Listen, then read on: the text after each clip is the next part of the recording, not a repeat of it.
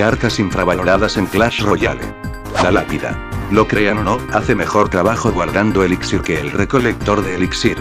Es entendible que mucha gente no la considere tan útil como otras chozas, porque bota esqueletos que ni llegan a la torre, ni hacen nada. Pero esos esqueletos, pueden negar cualquier ataque de caballero, chispitas, princesa, máquina voladora, dragón infernal, los tapies, y varias otras como el horno y la choza de duendes. Además, le puede hacer counter al príncipe, a la bandida, al peca, al mega caballero, al montapuercos, al mini peca, y a varias otras cartas. El punto de la carta es hacer que las tropas se entretengan con los esqueletos para que te dé tiempo de almacenar elixir y puedas defender bien. Por eso, sirve mucho en el mazo de sabueso y globo. Pero en otros como el Logbite o el 2, 6 de montapuercos sustituyendo al cañón y la torre infernal o Tesla, puede servir bien. Los dragones esqueléticos. Tienen muy poca vida, sí. Pero son una de las mejores cartas de apoyo para el mega caballero. Si te lo tratan de parar con una torre Tesla, una valquiria, un leñador, un caballero, un príncipe u otro mega caballero, van a matarlo antes de que la vida del tuyo se acabe. Pueden meter presión por líneas separadas y tienen poco más del doble de ataque que un bebé dragón. Además, por su velocidad de ataque pueden ser muy buenas defensas contra tanques como el y eléctrico, la P.E.K.K.A., el globo y varios otros tanques. Y por eso mismo, el mago eléctrico, que normalmente le haría counter al dragón o la torre infernal, no es tan efectivo contra ellos.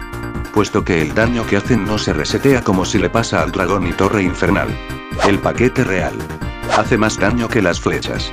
Aunque solo se puede poner en tu lado de la arena, es muy útil para defensa y para hacerle counter push da muchos combos.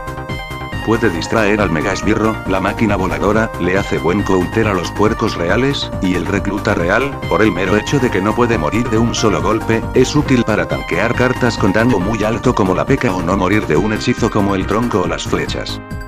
Le puede hacer counter sin daño en la torre a las chispitas. Y es un buen hechizo pequeño que solo requiere de un buen timing para poder funcionar bien. El duende gigante. Por su velocidad y por los duendes con lanza, se puede llevar de paseo a cartas como la P.E.K.K.A., el Mega Caballero, u otras que no vayan a estructuras. Es uno de los tanques más rápidos de todo el juego y puede rascarle bastante daño a muchas cartas cuando se las lleva de paseo. Además, el daño que hace una vez que llega a la torre, puede ser igual o más decente que el de un gigante normal. Los duendes con lanza que caen al final casi nunca hacen nada, pero también pueden ayudar a rascar daño a otras cartas. Los electrocutadores. Teniendo al mago eléctrico como preferido, muchos simplemente pasan de largo esta carta que aunque sí, son más lentos y tienen menos daño, su efecto de ralentización por el hecho de ser 3, es tan insano que puede parar tanques si les das el suficiente tiempo.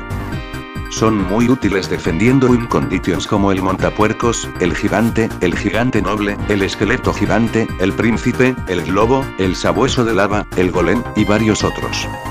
Ese es realmente su mayor atributo, pues a diferencia de nuestro querido mago eléctrico, su daño es muy bajo pero acompañado de, casi literalmente lo que sea, pueden resetear torres y hacer muchísimo daño.